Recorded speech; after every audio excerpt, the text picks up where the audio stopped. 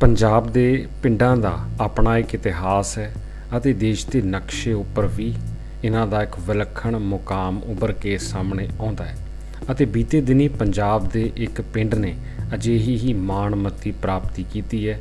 ਪੂਰੇ ਦੇਸ਼ ਵਿੱਚੋਂ ਅਵਲ ਦਰਜਾ ਹਾਸਲ ਕੀਤਾ ਅਤੇ ਇਤਿਹਾਸ ਨੂੰ ਸੰਭਾਲਣ ਪੱਖੋਂ ਵੀ ਸਮੁੱਚੇ ਦੇਸ਼ ਦੇ ਪਿੰਡਾਂ ਲਈ ਇੱਕ ਸੁਨੇਹਾ ਜਾਰੀ ਕੀਤਾ ਹੈ। ਅੱਜ ਦੇ ਇਸ ਵਿਸ਼ੇਸ਼ ਵੀਡੀਓ ਜ਼ਰੀਏ ਆਓ ਤੁਹਾਨੂੰ ਪੰਜਾਬ ਦੇ ਇਸੇ ਪਿੰਡ ਬਾਰੇ ਜਾਣਕਾਰੀ ਦਿੰਦੇ ਹਾਂ, ਜਿਸ ਨੇ ਬੀਤੇ ਦਿਨੀ ਸੈਰ ਸਪਾਟੇ ਪੱਖੋਂ ਦੇਸ਼ ਦੇ ਸਭ ਤੋਂ ਬਿਹਤਰੀਨ ਪਿੰਡ ਹੋਣ ਦਾ ਮਾਣ ਸਨਮਾਨ ਹਾਸਲ ਕੀਤਾ ਹੈ। ਇਹ ਪਿੰਡ ਹੈ ਪੰਜਾਬ ਦੇ ਗੁਰਦਾਸਪੁਰ ਜ਼ਿਲ੍ਹੇ ਦਾ ਪਿੰਡ, ਨਵਾਂ ਪਿੰਡ ਸਰਦਾਰਾਂ, ਜਿਸ ਨੂੰ ਕਿ best tourism village of India 2023 ਦਾ ਸਨਮਾਨ ਮਿਲਿਆ ਭਾਵ ਕਿ ਸੈਰ ਸਪਾਟੇ ਅਤੇ ਟੂਰਿਜ਼ਮ ਲਈ ਇਹ ਦੇਸ਼ ਦਾ ਸਭ ਤੋਂ ਬਿਹਤਰੀਨ ਪਿੰਡ ਸਾਬਤ ਹੋਇਆ ਹੈ। ਬੀਤੇ ਦਿਨੀ ਦਿੱਲੀ ਦੇ ਪ੍ਰਗਤੀ ਮੈਦਾਨ ਵਿਖੇ ਭਾਰਤ ਸਰਕਾਰ ਦੇ ਟੂਰਿਜ਼ਮ ਮੰਤਰਾਲੇ ਵੱਲੋਂ ਵਿਸ਼ਵ ਟੂਰਿਜ਼ਮ ਦਿਵਸ ਮੌਕੇ ਗਲੋਬਲ ਟਰੈਵਲ ਫਾਰ ਲਾਈਫ ਦੇ ਆਗਾਜ਼ ਦੇ ਨਾਲ-ਨਾਲ ਸਭ ਤੋਂ ਵਧੀਆ ਪਿੰਡ ਦੀ ਚੋਣ ਕੀਤੀ ਗਈ, ਜਿਸ ਵਿੱਚ ਪੰਜਾਬ ਦੇ ਇਸ ਪਿੰਡ ਨੂੰ ਇਹ ਮਾਣ ਮਿਲਿਆ ਹੈ। ਹੁਣ ਵੱਡੀ ਗੱਲ ਵੇਖਣ ਵਾਲੀ ਇਹ ਹੈ ਕਿ ਇਸ ਪਿੰਡ ਦੀ ਕਿਹੜੀ ਅਜਿਹੀ ਖਾਸੀਅਤ ਹੈ ਜਿਸ ਨੂੰ ਵੇਖਦਿਆਂ ਇਹ ਸਨਮਾਨ ਦਿੱਤਾ ਗਿਆ ਹੈ। ਦਰਅਸਲ ਇਸ ਪਿੰਡ ਯਾਨੀ ਕਿ ਨਵਾਂ ਪਿੰਡ ਸਰਦਾਰਾਂ ਨੂੰ ਪੰਜਾਬ ਦੇ ਸੱਭਿਆਚਾਰਕ, ਵਿਰਾਸਤੀ ਅਤੇ ਵਿਕਾਸ ਦੇ ਇੱਕ ਸਰਬਪੱਖੀ ਮਾਡਲ ਦੇ ਜੋ ਕਾਰਜ ਕੀਤੇ ਗਏ ਨੇ, ਉਹਨਾਂ ਸਦਕਾ ਇਸ ਪਿੰਡ ਨੂੰ ਇਹ ਮਾਣ ਮਿਲਿਆ ਹੈ। ਤੁਹਾਨੂੰ ਇਹ ਵੀ ਦੱਸ ਦਈਏ ਕਿ ਸਮੁੱਚੇ ਦੇਸ਼ ਵਿੱਚੋਂ 750 ਪਿੰਡਾਂ ਨੇ ਇਸ ਪਾਸੇ ਆਪਣੇ ਨਾਂ ਦਿੱਤੇ ਸਨ।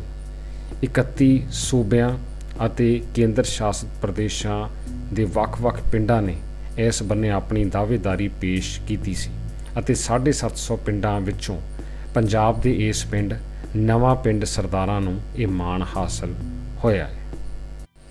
ਇਸ ਪਿੰਡ ਦੇ ਲੋਕਾਂ ਨੇ ਪਿੰਡ ਦੇ ਪੁਰਾਣੇ ਅਤੇ ਇਤਿਹਾਸਕ ਮਹੱਤਤਾ ਵਾਲੇ ਸਾਰੇ ਸਮਾਰਕ ਬਰਕਰਾਰ ਰੱਖੇ ਨੇ। ਪੁਰਾਣੀਆਂ ਹਵੇਲੀਆਂ ਨੂੰ ਵੀ ਬਹੁਤ ਹੀ ਸੁਚੱਜੇ ਢੰਗ ਨਾਲ ਸੰਭਾਲਿਆ ਗਿਆ ਹੈ, ਜਿਨ੍ਹਾਂ ਨੂੰ ਵੇਖਣ ਲਈ ਦੂਰੋਂ ਦੂਰੋਂ ਸੈਲਾਨੀ ਵੀ ਆਉਂਦੇ ਨੇ ਅਤੇ ਦੇਸ਼ਾਂ ਵਿਦੇਸ਼ਾਂ ਤੋਂ ਵੀ ਲੋਕ ਇੱਥੇ ਪਹੁੰਚਦੇ ਨੇ।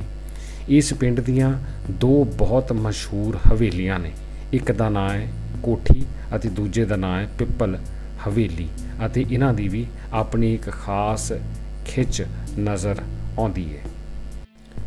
ਇਸ ਪਿੰਡ ਦੇ ਇਤਿਹਾਸ ਬਾਰੇ ਇਹ ਪਤਾ ਲੱਗਦਾ ਹੈ ਕਿ ਅੰਗਰੇਜ਼ਾਂ ਦੇ ਰਾਜ ਸਮੇਂ ਜ਼ਿਲ੍ਹਾ ਅੰਮ੍ਰਿਤਸਰ ਦੇ ਪਿੰਡ ਸਿੰਘਪੁਰਾ ਦੇ ਸਰਦਾਰਾਂ ਵੱਲੋਂ ਬੱਬੇ ਹਾਲੀ ਤੋਂ ਥੋੜੀ ਦੂਰ ਅੱਪਰ ਬਾਰੀ ਦੁਆਬ ਨਹਿਰ ਕੰਢੇ ਇੱਕ ਪਿੰਡ ਵਸਾਇਆ ਗਿਆ ਤੇ ਉਸ ਪਿੰਡ ਦਾ ਨਾਮ ਵੀ ਨਵਾਂ ਪਿੰਡ ਸਰਦਾਰਾਂ ਪੈ ਗਿਆ। ਉਸ ਵੇਲੇ ਦੇ ਲੋਕਾਂ ਤੇ ਮੋਤਬਰ ਸੱਜਣਾ ਨੇ ਇਸ ਪਿੰਡ ਵਿੱਚ ਉਸ ਸਮੇਂ ਦੇ ਬ੍ਰਿਟਿਸ਼ ਅਤੇ ਭਾਰਤੀ ਡਿਜ਼ਾਈਨ ਦੀਆਂ ਖੂਬਸੂਰਤ ਹਵੇਲੀਆਂ ਬਣਾਈਆਂ, ਜੋ ਅੱਜ ਵੀ ਕਾਇਮ ਨੇ, ਜਿਨ੍ਹਾਂ ਦੀ ਬਿਹਤਰੀਨ ਸਾਂਭ ਸੰਭਾਲ ਕੀਤੀ ਗਈ ਹੈ ਅਤੇ ਇਹੀ ਸੈਲਾਨੀਆਂ ਪੱਖੋਂ ਇੱਕ ਵੱਡਾ ਆਕਰਸ਼ਣ ਦਾ ਕੇਂਦਰ ਬਣਦੀਆਂ ਨੇ। ਆਬਾਦੀ ਦੇ ਲਿਹਾਜ਼ ਨਾਲ ਇਹ ਪਿੰਡ ਭਾਵੇਂ ਬਹੁਤਾ ਵੱਡਾ ਨਹੀਂ, ਪਰ ਆਪਣੇ ਵਿਰਸੇ ਦੀ ਸੰਭਾਲ ਅਤੇ ਰੋਜ਼ਗਾਰ ਦੇ ਮੌਕੇ ਪੈਦਾ ਕਰਨ ਦੇ ਮਾਮਲੇ ਵਿੱਚ ਇਹ ਪਿੰਡ ਵੱਡੇ ਵੱਡੇ ਪਿੰਡਾਂ ਵਿੱਚ ਸ਼ੁਮਾਰ ਹੋਣ ਲੱਗਾ ਹੈ। ਪੁਰਾਣੀਆਂ ਹਵੇਲੀਆਂ ਅਤੇ ਇਮਾਰਤਾਂ ਦੀ ਸਾਂਭ ਸੰਭਾਲ ਦਾ ਕੰਮ ਕਰੀਬ 2 ਦਹਾਕੇ ਪਹਿਲਾਂ ਸ਼ੁਰੂ ਕੀਤਾ ਗਿਆ। ਪੰਜਾਬ ਸਰਕਾਰ ਦੇ ਸੈਰ ਸਪਾਟਾ ਵਿਭਾਗ ਦੇ ਨਾਲ ਪਿੰਡ ਦੇ ਲੋਕਾਂ ਨੇ ਲਗਾਤਾਰ ਤਾਲਮੇਲ ਬਣਾ ਕੇ ਰੱਖਿਆ ਅਤੇ ਆਪਣੇ ਪਿੰਡ ਨੂੰ ਰੂਰਲ ਟੂਰਿਜ਼ਮ, ਯਾਨੀ ਦਿਹਾਤੀ ਸੈਰ ਸਪਾਟੇ ਦੇ ਇੱਕ ਪ੍ਰਮੁੱਖ ਕੇਂਦਰ ਵਜੋਂ ਉਭਾਰਿਆ ਹੈ। ਪਿੰਡ ਦੀਆਂ ਅੰਗਰੇਜ਼ ਰਾਜ ਸਮੇਂ ਦੀਆਂ ਸਰਦਾਰਾਂ ਦੀਆਂ ਹਵੇਲੀਆਂ ਨੂੰ ਸੈਲਾਨੀਆਂ ਦੇ ਠਹਿਰਨ ਲਈ ਵਿਕਸਿਤ ਵੀ ਕੀਤਾ ਗਿਆ ਹੈ। ਇਹਨਾਂ ਸਾਰੀਆਂ ਕੋਸ਼ਿਸ਼ਾਂ ਦਾ ਨਤੀਜਾ ਇਹ ਨਿਕਲਿਆ ਕਿ ਦੇਸ਼ ਦੇ ਹੋਰਨਾਂ ਸੂਬਿਆਂ ਅਤੇ ਵਿਦੇਸ਼ਾਂ ਤੋਂ ਵੀ ਉਹ ਸੈਲਾਨੀ ਜੋ ਪੰਜਾਬ ਦੇ ਪਿੰਡਾਂ ਨੂੰ ਖਾਸ ਕਰ ਪੁਰਾਤਨ ਨਜ਼ਰੀਏ ਤੋਂ ਨੇੜਿਓਂ ਵੇਖਣਾ ਚਾਹੁੰਦੇ ਨੇ, ਉਹ ਇੱਥੇ ਆਉਣੇ ਸ਼ੁਰੂ ਹੋਏ।